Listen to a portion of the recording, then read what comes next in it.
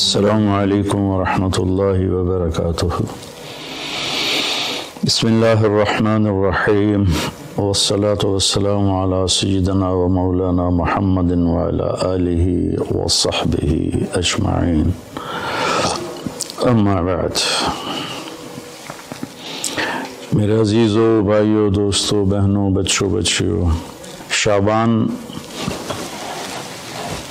سے پہلے ہی اللہ کے نبی جب رجب کا مہینہ آتا تھا، جو اس سے پہلے گزرا ہے، تو اس میں یہ دعا فرمایا کرتے تھے، اللہم بارک لنا فی رجب و شعبان وبلغنا رمضان۔ یا اللہ، ہمارے رجب اور شعبان میں برکت عطا فرما۔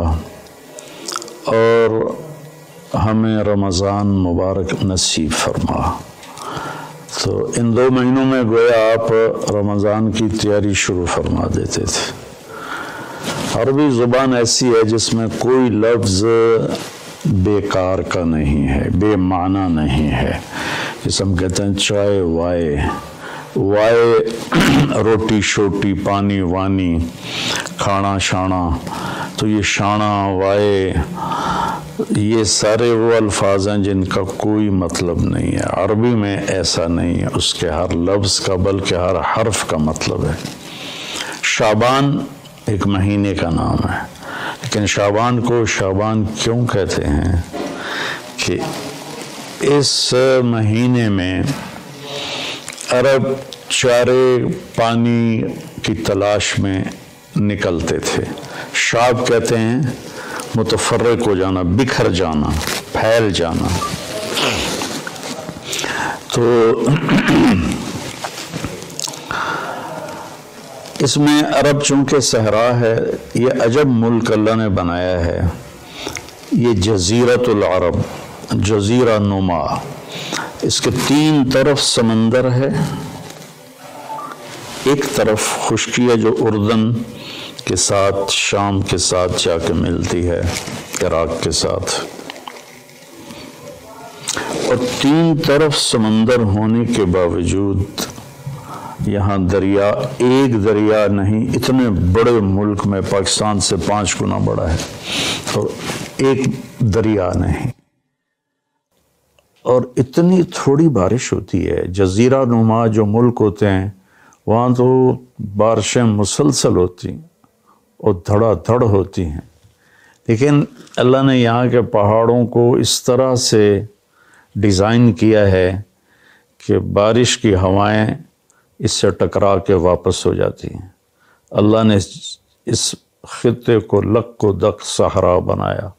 آج بھی صحرا ہے، بہت رب الخالی یعنی ایک بٹا چار حصہ سعودی عرب کا خالی پڑا ہوا ہے۔ اس کا نام ہی ہے چوتھائی خالی حصہ، وہاں زندگی نشو و نمائی نہیں پا سکتی۔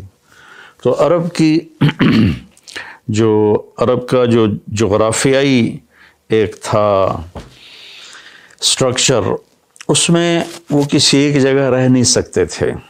چند ایک شہر تھے جو آباد تھے، باقی وہ ہر وقت وہاں پانی ہے تو پورا قبیلہ وہاں چلا جاتا تھا، پھر پانی ختم ہو گیا، پھر پانی پہ لڑائی جھگڑے، پھر کسی اور جگہ پانی کا سراغ ملا، وہاں چلا گیا۔ تو پانیوں اور چارے والی زمین کی تلاش کے لیے شابان میں یہ نکلتے تھے۔ اور پھر آ کر اپنے سردار کو خبر دیتے کہ وہاں چارہ ہے، وہاں پانی ہے۔ پھر پورا قافلہ موو کر کے وہاں چلا جاتا تھا۔ اور یہ موبائل تھے خانہ بدوش۔ اور ان کی بستیاں، ان کے شہر خیمے ہوتے تھے۔ اور چونکہ یہ فطرت کے مزا فطرت پر تھے، چونکہ کوئی وہاں ایسی چیز نہیں تھی جو ان کی فطرت کو مسخ کرے۔ جیسے میں شہری زندگی نے ہماری فطرت کو بالکل ادھورا کر کے رکھ دیا ہے۔ ہم نے آج تک چمکتا چاند نہیں دیکھا، تاروں بھری اندھیری رات نہیں دیکھی، ستاروں کی مسکان مسکراہٹ نہیں دیکھی۔ سورج چاند کی خوبصورت نورانی ہم نے اس کی شعائیں نہیں دیکھیں کرنیں نہیں دیکھیں تو وہ لکو تک میدان تھا۔ افلا ينظرون الى الابل كيف خلقت؟ اب اس ماحول میں رہ کر آپ اس آیت کو سمجھے اونٹ ان کی سواری تھی تو اللہ فرماتا ہے، اے اونٹ تو دیکھو کیسے بنا ہے، کس نے بنایا ہے۔ ویلا سما اکئی فرفعت جب تم صحرا میں سوتے اور اوپر تاروں بھری رات ہوتی ہے یا چودویں کا چاند ہوتا ہے، یہ کس نے اوپر کھڑا کر دیا؟ وہ الجبال کئی فنوصبت یہ تمہارے چاروں طرف پہاڑ ہیں، کالے سیاہ۔ یہ کس نے کھڑے کیے؟ کیسے کھڑے ہو گئے؟ ویل الارض کئی فسطحت اور یہ زمین بچھونا کیسے بن گئی؟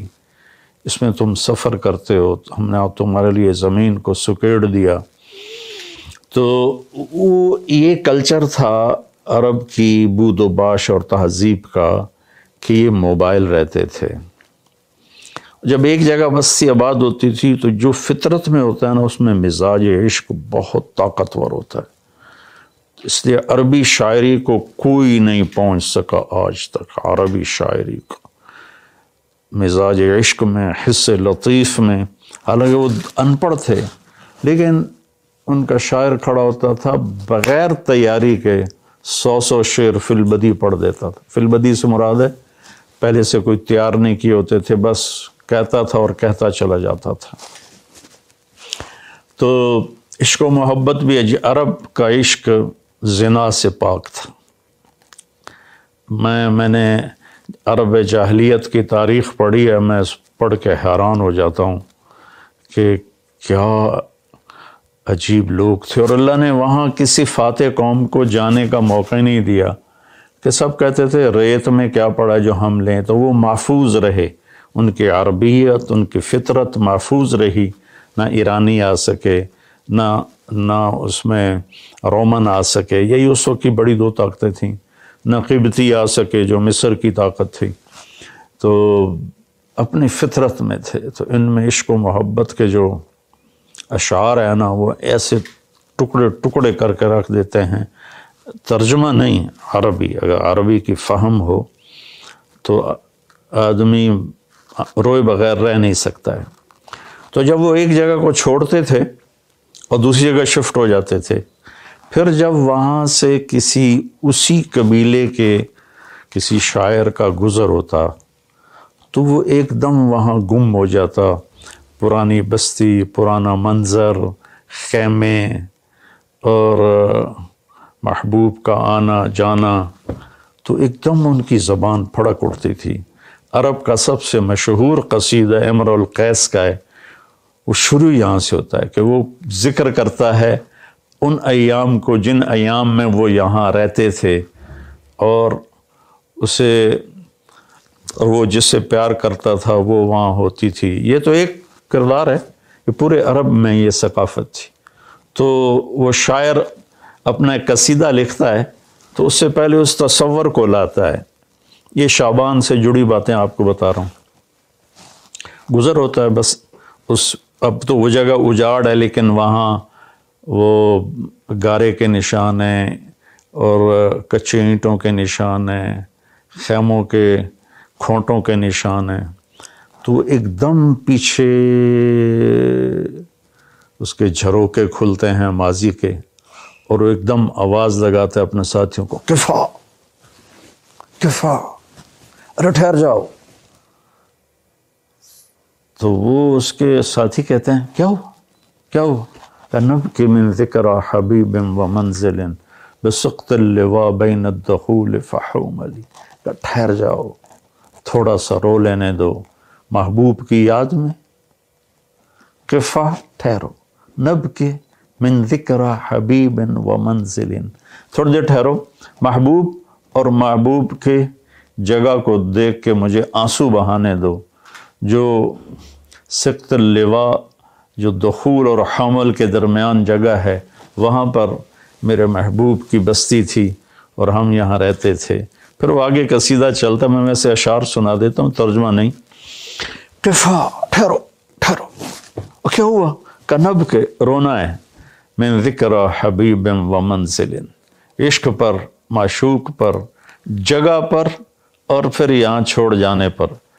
بسقط اللواء بين الدخول فحوملي فتوضع فالمقرات لم يعف رسمها لما نسجتها من جنوب وشمألي ترى بعر الأرعام في عرصاتها وقيعانها كأنه حب فلفلي كأني غداة البين يوم تحمل لدى سمرات الحي ناقف حنظلي.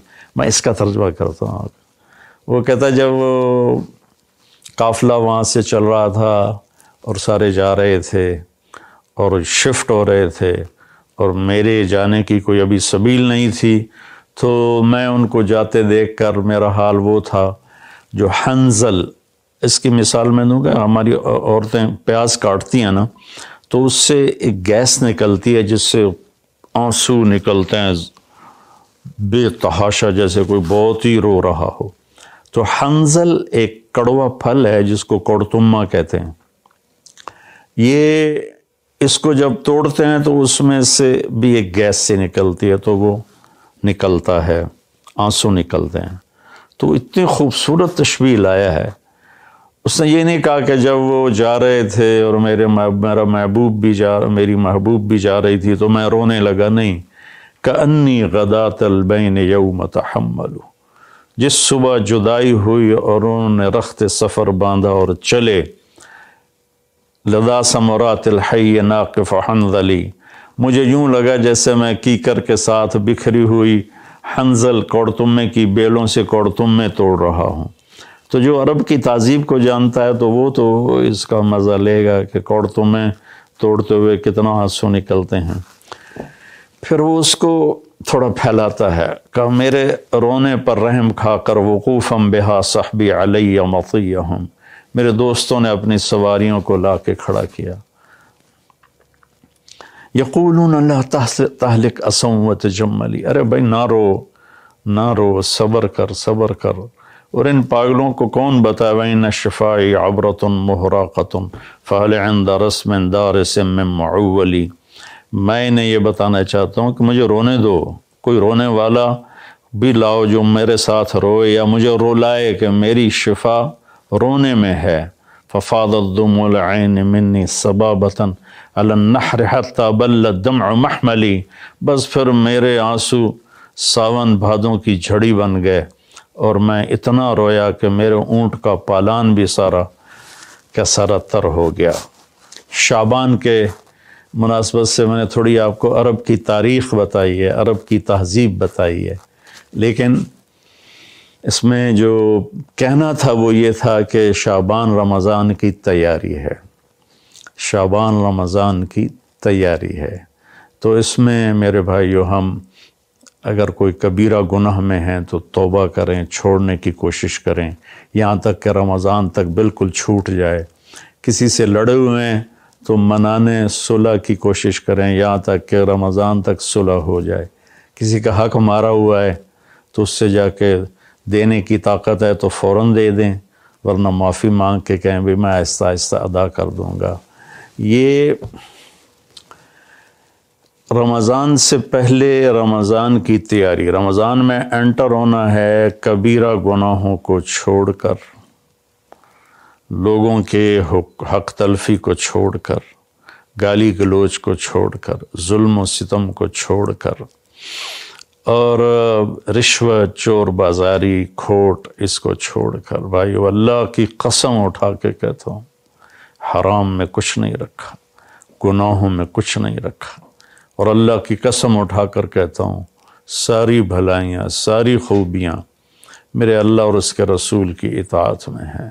اللہ کے واسطے ہم باقی گناہوں سے بھی توبہ کریں اور فرقہ واریت سے بھی توبہ کریں۔ یہ میرا کرتا ہے نا یہ ہے اسلام۔ اور اس کے اندر یہ بنیان ہے۔ یہ میرے عقائد ہیں اور میرے ذاتی اعمال ہیں۔ اسلام تو سب کا ایک ہی ہے۔ ان الدین عند اللہ الاسلام۔ شرع لکم من الدین۔ تو دین تو سب کا ایک ہی ہے۔ آگے چھوٹی چھوٹی باتوں پہ فرقے بن گئے۔ ہیں جنازے کے بعد دعا پڑھنی یا نہیں پڑھنی، اس پر ہی فرقہ بنا پڑا ہے۔ تو اتنی چھوٹی باتوں میں ہم الجھ گئے ہیں۔ ساری دنیا کتنے خطرے سے گزر رہی ہے۔ اور کرونا ایک وبا اور وبال ہے، ایک عذاب ہے۔ ہم توبہ کریں، باقی گناہوں سے بھی۔ اور فرقہ واریت سے دیکھو، میں ہاتھ جوڑتا ہوں۔ علماء سے بھی کہتا ہوں۔ یہ دیوبندی بریلوی والا میدان جنگ بند کرتا یہ شیعہ سنی والا میدان جنگ بند کرتا یہ حنفی مالکی شافی حملی، سلفی، یہ میدان جنگ بند کر دو۔ انشاءاللہ جو بھی قرآن اور حدیث کو سامنے رکھ کر عمل کر رہا ہے، اللہ کا فضل اس پر چھائے گا اور وہ ایک دن ضرور جنت میں جائے گا۔ اگر اس کا غلط مطلب بھی سمجھا ہے، تو اللہ جو چاہے گا فیصلہ کرے گا۔ ہم اللہ کے واسطے امت بنیں، اپنے ملک کی حفاظت کریں۔